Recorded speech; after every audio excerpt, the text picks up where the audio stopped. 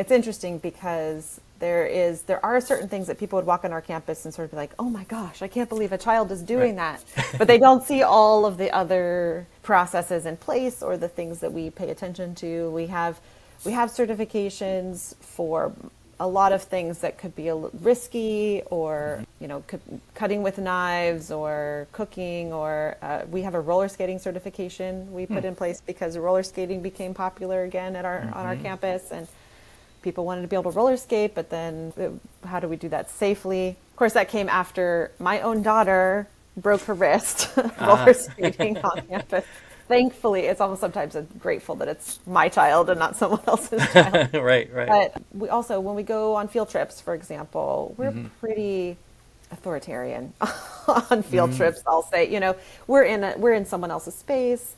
The adults on the field trip, the chaperones, are responsible for what goes on, and so we, you know, put some clear boundaries in place. And if people don't follow them, then they might not be able to go on field trips the, for a while. This is the Agentic Schools podcast, where you will learn about schools from around the world where children's agency to make decisions about their learning and living is more important than their academic skills. I'm your host, Don Berg.